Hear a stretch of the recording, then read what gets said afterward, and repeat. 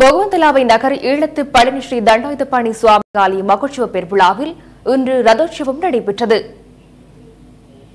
இன்று காலை முதல் நடைபெற்ற பூஜை வழிபாடுகளை அடுத்து சண்முக பெருமானுக்கு சண்முக அர்ச்சனை நடைபெற்றது.